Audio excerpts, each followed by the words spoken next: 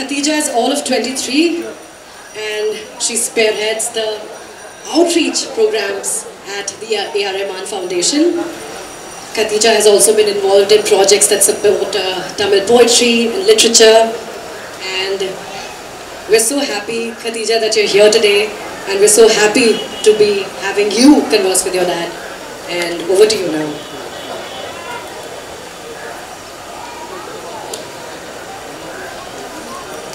Would like Daddy to come on stage now.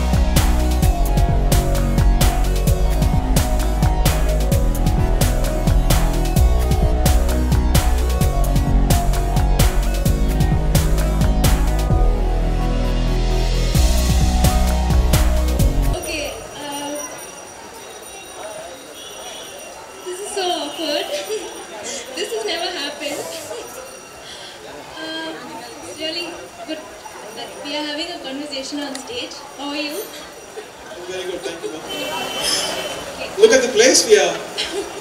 It's one of the most special places in the world, I would say, because, like uh, Nandika put, there's so much of love, so much of humanity, and so much going on in this place.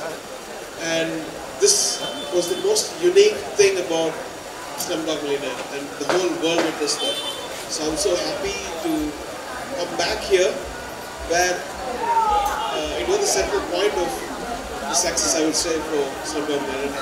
Being here is so important and iconic for us. Thank you. Um, so yeah, today I'm supposed to interview you, but I thought I'd slightly change the format.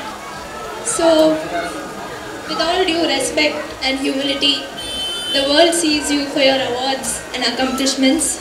But for me, I think the most important thing that you've done as a father uh, is the values you've taught us. So, what I want to talk to you, say is that your humility matters the most for me. Not an atom of your character has changed ever since you won the Oscars. Ten years back and now you're still the same. It's just that maybe the time you've spent with us has reduced, but I think you're making it up now by taking us on short trips. So, one more thing which I want to say is I'm deeply inspired by your generosity.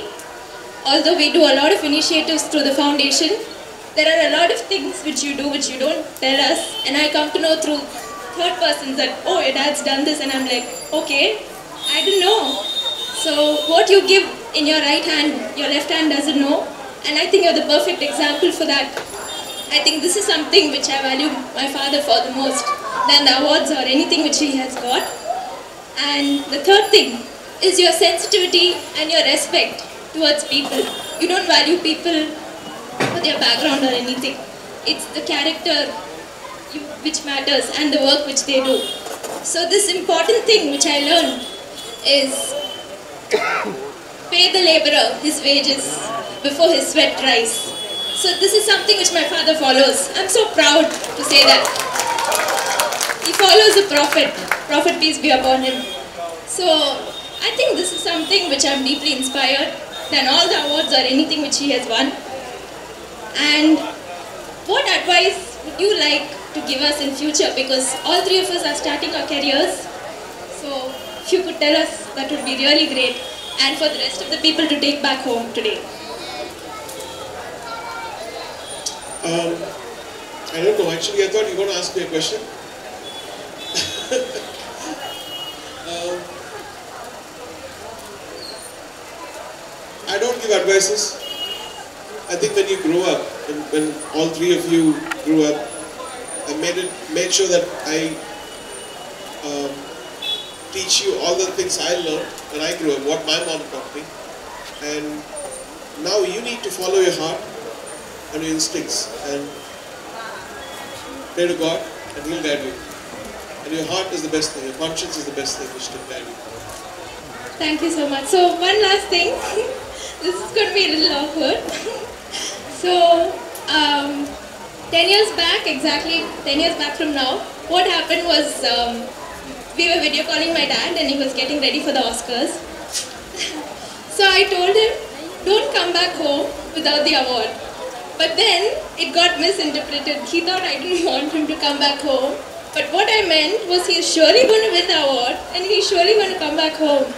So are you offended by that? Because I didn't confront you after that. No, no, no, it was fine because I was anyway in a daze that time.